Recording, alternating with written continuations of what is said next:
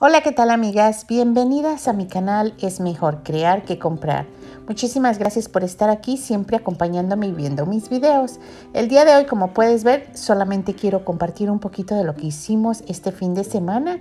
Pues te cuento que por fin pudimos cortar todos los chiles que ya estaba el arbolito lleno y estaba tan pesado que las ramitas empezaron a, a doblar. Y como puedes ver, mira lo grandiosa que fue nuestra cosecha. Somos muy bendecidos porque este año todo se dio muy bien.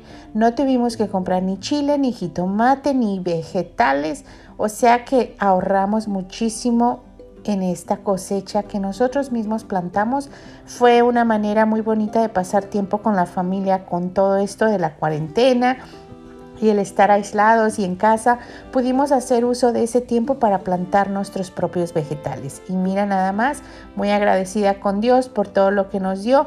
Y también te quiero mostrar de que ya empezamos con nuestra cosecha de invierno o por decirlo así de que se empieza a cosechar a sembrar ahorita para cosechar en invierno que viene siendo zanahoria viene siendo el repollo la espinaca los chícharos y aquí tenemos diferentes tipos de espinaca y también lechuga.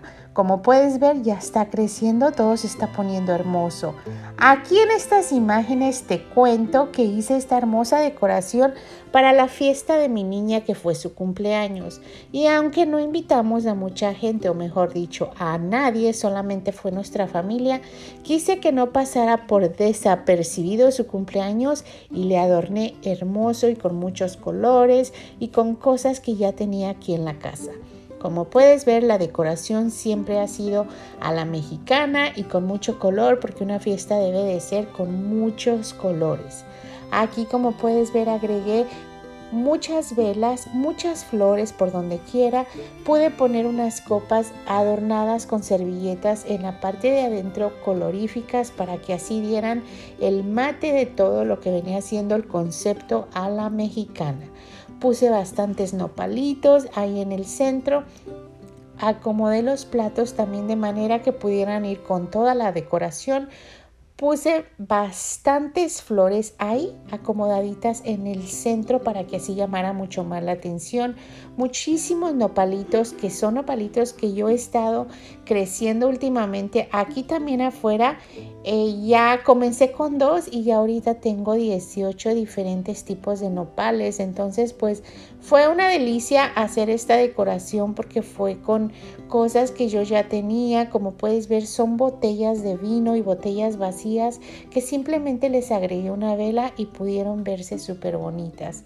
Acompañado de todos los colores agregados, pues hizo muy especial este cumpleaños de mi niña pequeñita.